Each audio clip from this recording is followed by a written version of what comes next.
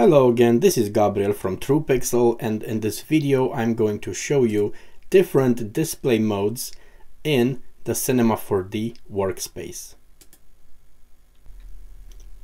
We can find the display modes under this viewport tab called Display where we see that by default Cinema 4D starts in the Gouraud shading mode. Let's switch in between them and see how our viewport and the workspace will look like.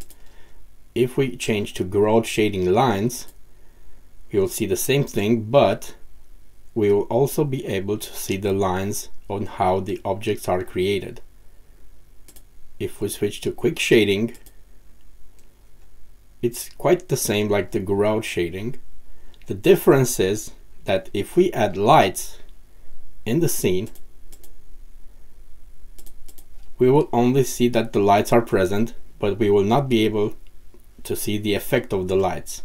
If we switch back to the Gouraud shading, we also see how the lights affect our scene.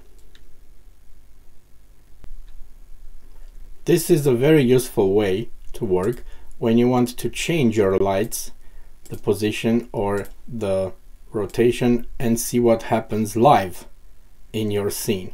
But you won't be able to quickly model if you don't see the lines of the objects.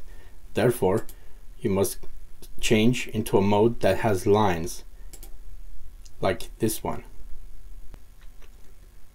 Other display modes that we have here are the constant shading,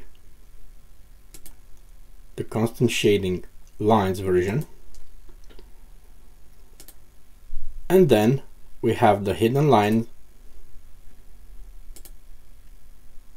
just lines that are configurable by wireframe like isoparms, boxes, and skeletons.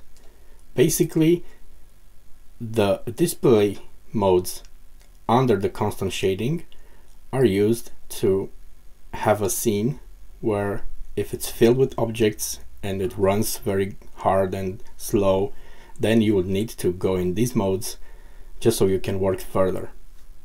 I usually work in the quick shading lines mode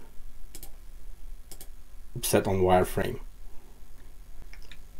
This way I can see all my objects, I see the modeling lines that I'm going to handle, I see where the lights are and the lights and the sky and every other effect does not affect my scene, I can still work with it. Only when I want to see what happens in my scene before I render it, I switch to the Gouraud shading.